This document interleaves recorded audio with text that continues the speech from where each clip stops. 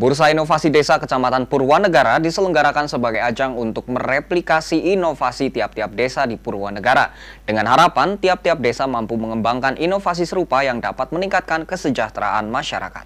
Beginilah suasana Bursa Inovasi Desa Kecamatan Purwanegara.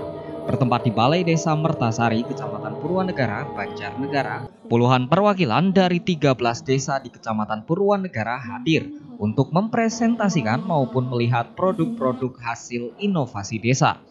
Dalam bursa inovasi ini, berbagai macam inovasi desa dipresentasikan, seperti Taman Selfie Gemiwang, budidaya pisang, lele kali mendong, merden basketball, saus dua cabai, makam Dr. Sulistyo, dan lain sebagainya.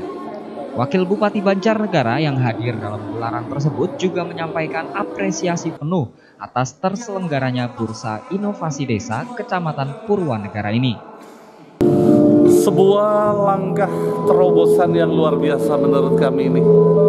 Sehingga bimbingan secara langsung memperkuat perencanaan yang muncul di masing-masing desa, menggiring munculnya simbol-simbol perekonomian di tengah-tengah masyarakat, saya pikir menjadi sebuah langkah alternatif yang berbagai pihak mesti mendukung. Sinergi antar, antar OPD, antar dinas menjadi demikian pentingnya. Pimpinan wilayah, sama kepala desa sudah barang tentu memanfaatkan peluang ini untuk benar-benar mewujudkan mimpi besar yang disebut martabat sejahtera itu. Karena tebusannya hanya dengan kerja.